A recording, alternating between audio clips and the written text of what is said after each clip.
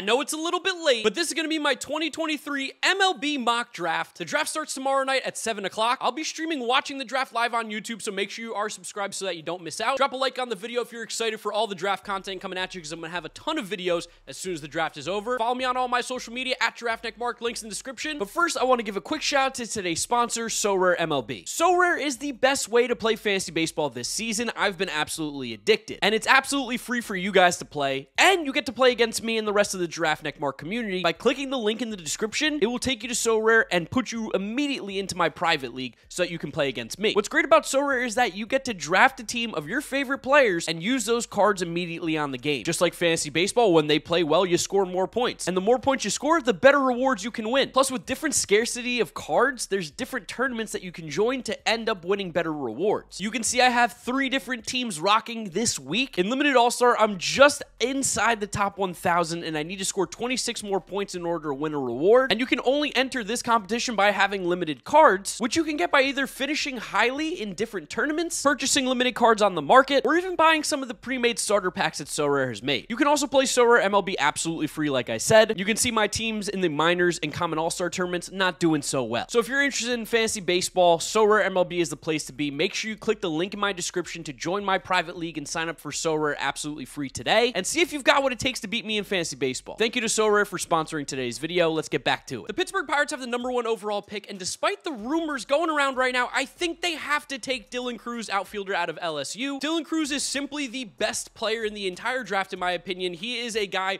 who should be a quick riser to Major League Baseball. He has got all the tools. He's a five-tool player. Like, there's pretty much nothing not to like about Dylan Crews. The only reason why he might not go number one overall is because he wants a ton of money, which also makes sense. He should want a lot of money if he's going to be the number one overall pick. So while there definitely is a little bit of worry that if you take Dylan Crews number one overall and don't pay him, he won't sign, I think the Pirates call his bluff, take him number one overall, and still break the record for the highest paid player ever at number one, just not at the $10 million he's asking for. With the second overall pick, the Washington Nationals are up, and I think they take Dylan Crews's teammate, Paul Skenes, who also could be number one. He's disgusting. Paul Skenes is without a doubt the best pitcher in the entire draft. He's filthy. He's disgusting. He's a Stephen Strasburg type prospect, for those of you who remember when he was getting drafted. This is a guy who will also be in the major leagues very, very soon. Throws 100 miles an hour. He was the most dominant pitcher in college. He's got a filthy, filthy slider. He's rocking like a 50% K rate and doesn't walk anybody in college baseball. Paul Skenes is nasty. He's either going one or two. There's no way he goes anywhere else. For the third overall pick, the Detroit Tigers are up, and I have them selecting Wyatt Langford, outfielder out of University of Florida. If Wyatt Langford was in any other draft, he would be the clear number one overall pick. The Tigers are getting an absolute stud here at three. He is another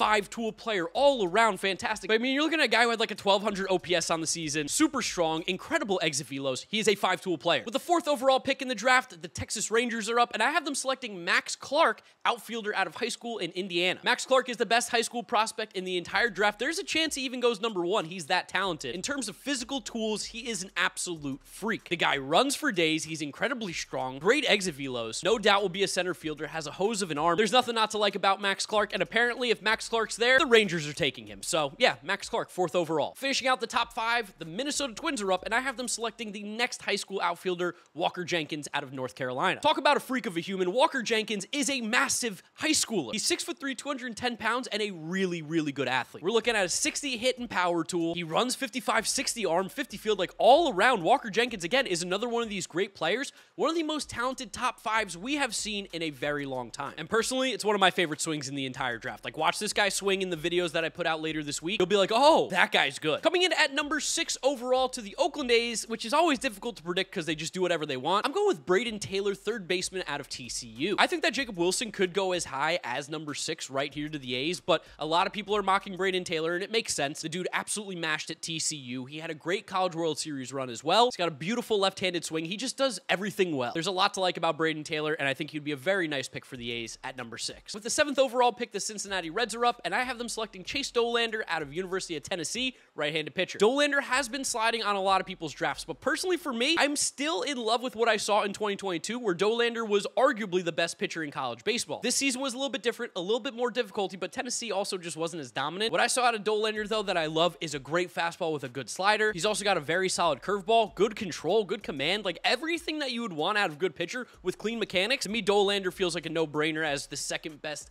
college pitcher in the draft, and the Reds are a pitching factory. I just, I see like Dollander doing big things with them, so I have him going seven, even though a lot of people have him sliding. At the number eight spot, the Kansas City Royals are up. I have them selecting a college pitcher as well. This is going to be Rhett Lowder, right-handed pitcher out of Wake Forest. Rhett Lowder, another one of these great college pitchers, was awesome at Wake Forest this past year, big part of their College World Series run. While he doesn't have the big numbers that jump out to you, he doesn't throw 100 miles an hour, he doesn't have the nastiest breaking balls. He is overall probably one of the most complete pitchers, if not the most complete pitcher in the entire draft. Someone that you can mold and maybe get a little bit more out of, a little more velo ticks here and there. But he's got kind of the hard stuff done. He knows how to pitch, great command on his stuff. Just be a really solid pick for the Royals. Ninth overall is going to be the Colorado Rockies, and despite what I think they should do, the rumors are they're going to go with a pitcher, and the best one available to me right now would be Noble Meyer, right-handed pitcher out of high school. Noble Meyer is the best high school arm in the entire draft class, in my opinion. Six foot five, 185 pounds, another guy who's just got super clean mechanics, stuff that I love when I'm drafting pitchers or thinking about people who should be drafted as a pitcher. Repeatable mechanics is always huge. He's got a big fastball that sits in the upper 90s, a really solid slider, and a good changeup. I don't think the Rockies should ever draft pitchers. I think they should just lean in and only get hitters, but it seems like they're gonna go pitcher, and Noble Meyer would be the best one available in my mock right now. Rounding out the top 10, the Miami Marlins are up, and I have them taking local Florida kid Arjun Nimmala, shortstop from a high school in Florida. Arjun Nimmala simply is one of the biggest upside guys in the entire draft, and I think the Marlins should be getting a little bit risky with these picks.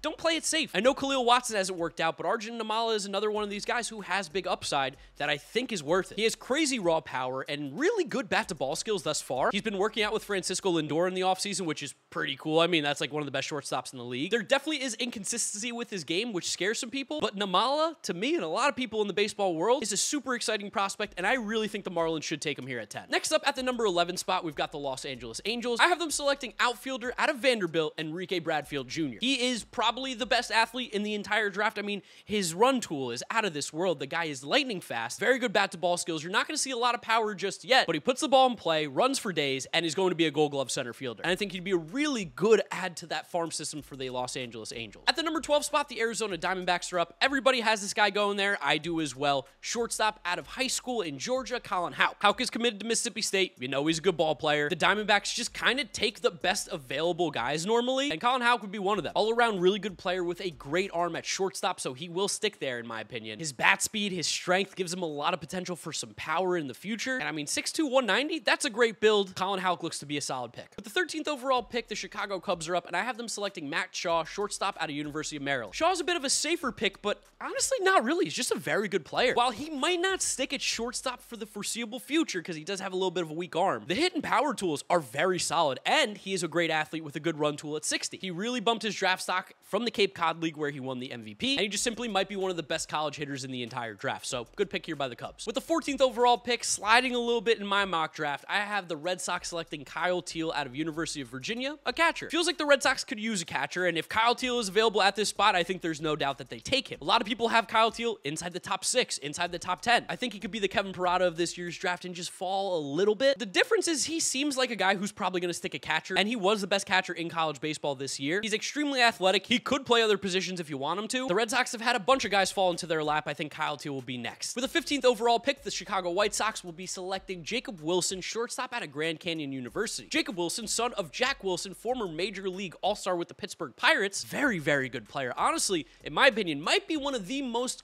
well-rounded players in the entire draft. Jacob Wilson hit 412 with a 460 on base, 635 slugging, and almost an 1100 OPS this year at Grand Canyon. He only struck out five times in 217 plate appearances, walked 19, He's a very good fielder. I think he's going to stick at shortstop all around, really good player. And I think this would be an awesome pick for the White Sox if they can get Jacob Wilson at 15. Big Jacob Wilson fan. With the 16th overall pick, the San Francisco Giants are up, and I have them selecting local kid, well, at least collegiately, Tommy Troy, shortstop out of Stanford. What makes Tommy Troy really interesting is that he consistently makes hard contact. You're not seeing crazy power numbers just yet, but the fact of the matter is he doesn't swing and miss often. He hits the ball consistently, and he hits it hard. Those are all things you love to see, and you know the Giants are a smart organization. They'll be able to sculpt this guy into whatever they want him to become. He's all around a very good player. With the 17th overall pick, the Baltimore Orioles are up, taking one of the most fun players, in my opinion, in the draft. First baseman and right-handed pitcher out of Madison High School in Virginia, Bryce Eldridge. Eldridge is 6 foot 7, 223 pounds. He is a two-way player, and there's a legitimate chance you might try and keep that going. On the mound, he throws mid to high 90s with a pretty solid slider, a sweet left-handed swing. Obviously, he's a huge human. He crushes the baseball. I probably didn't need to tell you that. So for me, Bryce Eldridge, left-handed swing, big power, yeah, put him in Baltimore. With the 18th overall pick, I have the Milwaukee Brewers selecting Jacob Gonzalez, shortstop out of Ole Miss. In some of my original mocks that I never posted, I had Jacob Gonzalez going inside the top 10. I, honestly, to the Rockies, I thought it would be a great pick for them. Jacob Gonzalez is a beast. He has a ton of pop in his bat. He was one of the more anticipated prospects in college. Very solid hitter, 20 plus home run a year potential. Big, strong kid,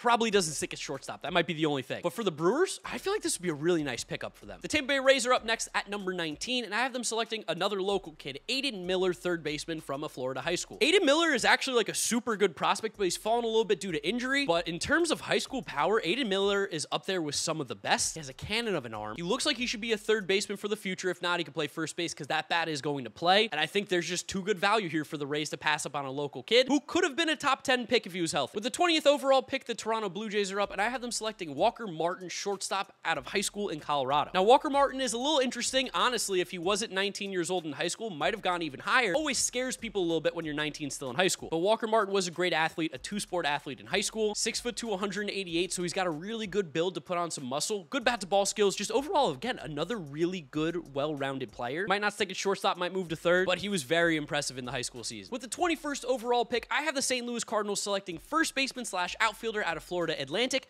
Nolan Schanuel. Schanuel might not be the greatest athlete, which is why you might do a little outfield first base with him, but the hit tool is legit. I mean, the guy has a 60 hit grade, 50 power. He's a big dude, six foot four, so the power can continue to get even better. I don't know what it is also. He just feels like a St. Louis Cardinal guy. I've been really good, weirdly, at predicting Cardinals draft picks recently, called Cooper Hjerpe last year. I just have a feeling that Nolan Schanuel is going to be that guy in this draft. With the 22nd pick in the MLB draft, the Seattle Mariners are up, and I have them selecting Colt Emerson, third baseman slash shortstop out of Glen, Ohio. Emerson committed to Auburn, so you know he's a player. And he's got a really, really consistent, compact left-handed swing that makes you excited when you watch him play. He's got gap-to-gap power, and his build and his swing makes you think that the power is going to eventually come even more. Colt Emerson's a guy who might even fly up these boards a little bit. Don't be surprised. But I have him going to the Mariners here at number 22. With the 23rd overall pick, the Cleveland Guardians are up, and I have them selecting Hurston Waldrep, right-handed pitcher out of University of Florida. I mean, he's just got some crazy good stuff, and I don't feel like the Guardians can help themselves when they see a pitcher with all the tools in the world to be great. We know what they're able to do to pitching prospects. How do they pass up on a guy like Hurston Waldrep? Waldrep throws in the upper 90s with a disgusting splitter and a wipeout slider. Those three pitches right there make him a really good reliever at his floor and a very, very dangerously good starter at his peak. So a guy like Hurston Waldrep, I think, in the Cleveland Guardians just makes way too much sense. With the 24th overall pick, I have the Atlanta Braves selecting George Lombard Jr., shortstop slash third baseman out of Gulliver Prep in Florida. I'm low-key, like, really drinking the George Lombard Kool-Aid. The more and more I've watched him play, the more I've fallen in love with that swing, the way that he plays the game. Six foot three, 190. Like, does he swing and miss? Yes. But does he have some crazy pop potential and power? Oh, 100%. And for me,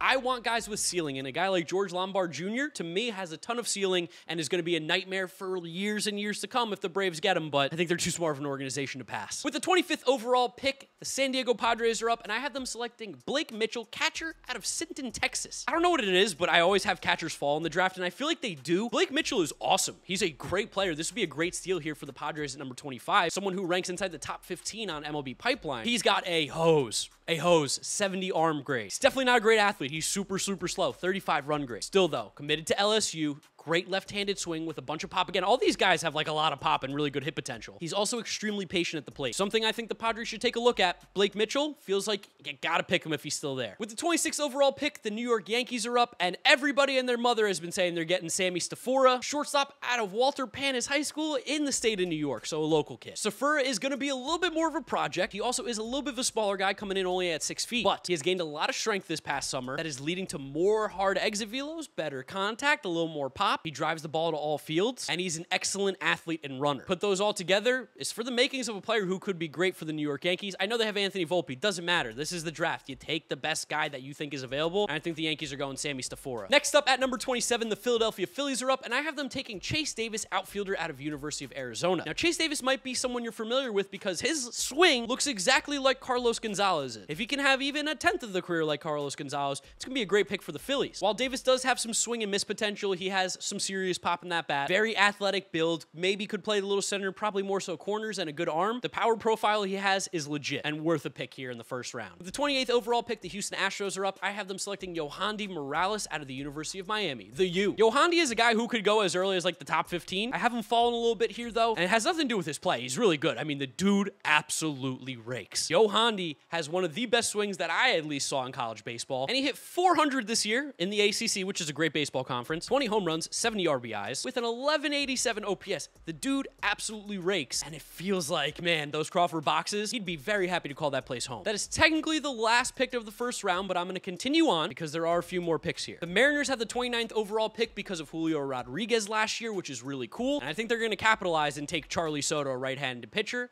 out of Florida. Well, a high school in Florida. Charlee Soto's sick. And honestly, I don't I can't wrap my head around how he's not even like a top 15 guy. He's 17 years old. He's 6 foot 5, 210. He's a good guy. I mean, he does like all this charity off the field as well. And he throws like 98, touching 100 with a really good slider and a solid changeup. I don't understand why he would fall this late, but nobody has him going very early. I think he's one of the better pitching prospects in the entire draft. And if the Mariners get him here at number 29, wow, what a steal this could end up being. The Mariners also have the next pick at number 30. They have three picks in the first round. This is crazy for a farm system. And I have them selecting Kevin McGonigle, middle infielder out of a high school in Pennsylvania. McGonigle has been described as one of the best pure hitters in the entire draft class. He's not a great athlete. He's probably going to play second base. But in terms of bat to ball skills, people are saying he's up there with some of the best in the entire draft. This could be an absolutely mega awesome draft if they get a guy like Kevin McGonigle. At number 31, the Tampa Bay Rays are up, and I have them selecting Tai Peete, shortstop out of Trinity Christian in Georgia. Tai Peete's just got the Rays written all over him. Another 17 year old prospect, which I think is also super important, by the way, that you guys should keep in mind. You're like 17 coming into the draft, huge advantage if you're very good. And Tai Peete is good. While there are some hit tool concerns. Power, arm, and speed is up there, and that's something that the Rays definitely like. He's also a good fielder, probably will stick at shortstop. They always like to take up the middle. They're always looking for those good athletes with good tools, and Tai Peete just feels like he's going to be that guy for them. Finally, my New York Mets up at number 32, and I have them selecting Ty Floyd, right-handed pitcher out of LSU, someone who has flown up the draft boards because of his performance in the College World Series. Floyd has a fastball that tops out in the upper 90s, kind of sits in the mid to high 90s, a very solid slider, good curveball, good changeup. Four pitches for a pitcher in the draft is awesome. And like I said, this past season was great. The College World Series run, he was really, really good. Someone that I think the Mets are definitely going to take a look at. And if he's there, I hope they take. Lots of picks in the competitive balance round. Next up is the Milwaukee Brewers at number 33. I have them selecting Thomas White, left-handed pitcher out of Phillips Academy in Massachusetts. White is a big left-handed pitcher, six foot five, 210 pounds, 18 years old, of course, coming out of high school. And he's got a big fastball that's touched the upper 90s, a curveball with super high spin rates. These feel like things that the Brewers are all going to love. These feel like things that all teams should love. Good young pitcher, Milwaukee Brewers put them together, you might have an ace on your hands. Thomas White, number 33. At the number 34 spot, the Minnesota Twins come back here for Brock Wilken, third baseman out of Wake Forest. Big, big, big, big, big fan of Brock Wilken. Someone I think could sneak up, maybe inside the top 20. 31 home runs and 15 doubles this past season with Wake Forest. So yeah, he can hit for some power. He also walked 11 more times than he struck out. 69 to 58. Nice. And he finished with a 13-13 OPS this year. Again, Brock Wilken's one of these guys that people have falling late. I don't really understand why, because he absolutely mashes. This would be a great pick by the Twins. At number 35, the Marlins are back up, and I have them selecting Dylan Head, outfielder out of Homewood Flossmoor in Illinois. Dylan Head's going to be a project. You're taking him because he's a sick athlete. He has an 80 run tool. For those of you at home, that's that's pretty fast. He's also a great outfielder. He's going to play center field. Got to work on the hit tool, definitely, and there's not really that much power right now, but the athletic ability is what you're going to draft Dylan Head on, and I think at 35, the Marlins, again, can get a little risky here. With the 36 overall pick, the Dodgers are finally on the board here. I have them selecting Johnny Farmelo, outfielder out of Westfield High School in Virginia. Weird because I'm from Westfield, New Jersey. Not the same. Farmelo is a great athlete, which is something that the Dodgers always seem to look to prioritize as a guy who can run a little bit, which is going to help him obviously offensively and defensively. He's got good barrel skills, which make you feel kind of encouraged about what his offensive potential could be. And he's got a really good build at 6'2", 205. So just makes sense for the Dodgers, who make prospects out of anything. Imagine what they can do with this kid. 37th overall pick, Detroit Tigers are back up, and I have them selecting third baseman slash shortstop out of Aquinas High School in California, Eric Bitonti. Bitonti is built like a friggin' moose. Six foot four, 218 coming out of high school. Like, where, where do you even do that? How does that work? I was like five foot nine, 135 pounds. Regardless, it's not about me, it's about Eric. I think this would be a really fun pick for the Tigers. They got Wyatt Langford, get a little risky, get a guy with a really, really big potential ceiling. Because with that size, with that swing, at only 17 years old, this is a super intriguing prospect. Second to last pick of the video, at number 38, the Cincinnati Reds are back, and I have them selecting third baseman out of University of Virginia, Jake Gelof. You're probably familiar with his brother, a third base prospect in the Oakland A's system, Zach. Jake is also just as good. This year at Virginia, 23 homers, 23 doubles, 90 RBIs, which is just such a high number. 321 average, 427 on base, 710 slugging, and 1137 OPS. I think the Reds go with a hitter with their second pick after taking a pitcher first. He might not have a position, but they're not really worried about that. They're putting guys everywhere. He's got a great bat. Feels like a good fit. And then for the last pick of today's video, the last pick of like the hypothetical first round, the Oakland A's are up at number 39, and I have them selecting Brandon Sproat, right-handed pitcher out of University of Florida. Sproat is another one of these guys I could see going very early because the stuff is really good. He was a third round pick by the Mets last year. They weren't able to sign him away, which stinks because I think he's really awesome. But Sproat gives you a plus fastball that's in the mid to upper 90s, a very solid slider, good changeup, and he's working on a curveball that needs a little bit of help. This would be the third time that this guy's drafted. People want him. They just can't sign him away. Maybe the A's can't because maybe he wants money, but he also has no other choice now. He improved his command a lot this past year at Florida. Someone I think could be a very good pitcher in the future for Oakland or Las Vegas. So that's my mock draft. I appreciate you guys sticking around this long to hear about all these prospects. There's going to be so many videos coming out as the draft is going on. There's going to be a stream, so make sure you are subscribed to the channel so you don't miss out on that. I know there was no highlights in this video. I'm going to save the highlights for the big ones that come after the draft because I just don't want to keep showing you the same highlights over and over again. Thank you guys for being patient. I know the mock draft is coming out like very close to the time of the actual draft, but it's been a lot going on in my apartment, travel, all that stuff. Appreciate the amazing support you guys continue to give on the channel. Follow me on all my social media at GiraffeNeckMarc. Links are in description. That's where I'm going to wrap it up, guys. You know the drill from here on out. YouTube recommends you watch this video. This is my most recent upload, so click through those if you have not yet seen them. Thank you guys for watching, and I'll see you all tomorrow for the MLB draft, as well as all the content that's coming out. Bye!